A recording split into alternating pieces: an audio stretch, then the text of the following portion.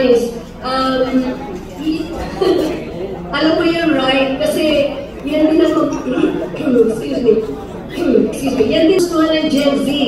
Ah, kasi nung manood kami, ah, meron doon mga mga tigamungod fan ng mga students.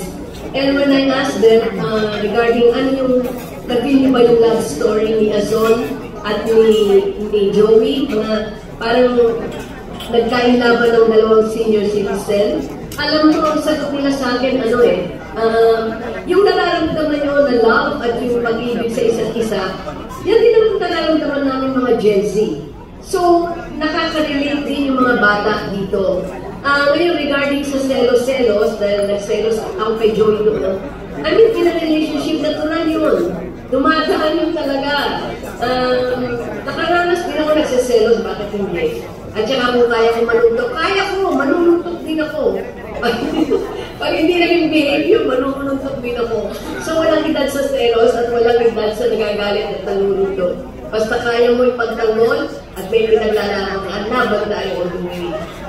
Pero wala ka pa naman sinuntok in real life, Ate B, ah. May Ah, third party? Eh, ibang babae yung min? Ako. Wala, wala, never, never. Thank you, Ate B.